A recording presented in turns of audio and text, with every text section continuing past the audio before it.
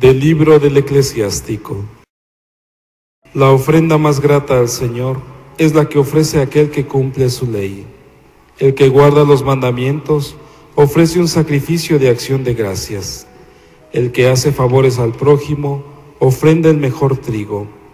El que da limosna ofrece un sacrificio de alabanza. Apartarse del mal es darle gusto al Señor. Evitar la injusticia es sacrificio de expiación por el pecado.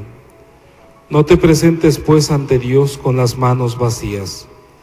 Todo esto es mandato del Señor. La ofrenda del justo enriquece el altar y su aroma sube hasta el Altísimo.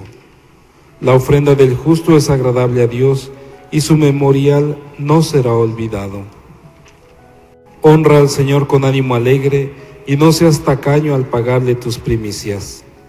Haz tu ofrenda de buena gana y santifica con gozo tus diezmos.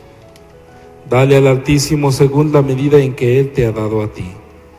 Dale tan generosamente como puedas, porque el Señor sabe recompensar y te dará siete veces más.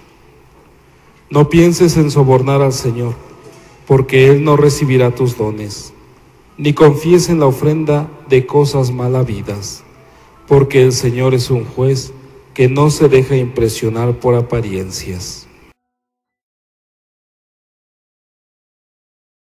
Al que sigue buen camino le haré ver la salvación de Dios. Congregadme a mis fieles que sellaron mi pacto con un sacrificio. Proclame el cielo su justicia, Dios en persona va a juzgar. Al que sigue buen camino le haré ver la salvación de Dios.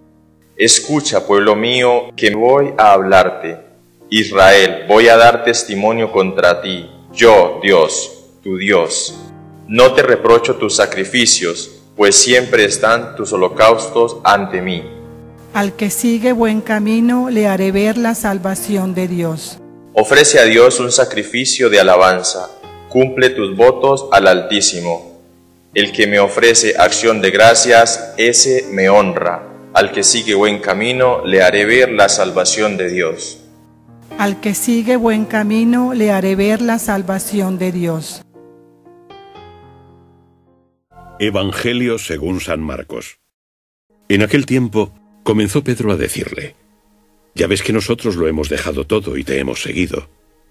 Jesús respondió, Os lo aseguro, Nadie que deje casa, hermanos o hermanas, madre o padre, hijos o tierras por mí y por el Evangelio, dejará de recibir el ciento por uno ya en esta vida, en casas, hermanos, hermanas, madres, hijos y tierras, con persecuciones, y en el siglo venidero, la vida eterna.